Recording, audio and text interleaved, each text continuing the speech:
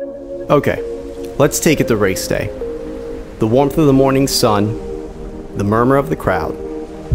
Safety pins, Tyvek, asphalt, rubber, fresh air, and the moment of resolve before the start.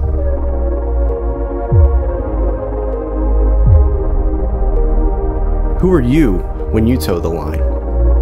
Are you the contender with winning on your mind? Is winning everything in this very moment?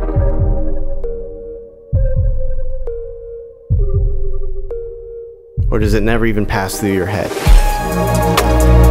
Are you one of the thousands of mothers, uncles, brothers, sisters, cousins, teachers, neighbors, and kids that toe the line simply because the idea of running 3.1 miles used to seem impossible? But now you jump at every chance you can to once again silence that notion. If this speaks to you, then you make up almost 90% of all race participants. 60% of races happening in the country right now are happening in small suburban cities just like yours.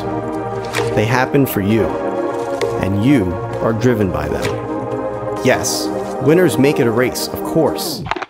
But equally as important in that ecosystem is the weekend warrior, second chance at life, owning your moment, born to run runner. You, a true champion of the human spirit. These races happen for you. These moments are yours. And you are driven by them.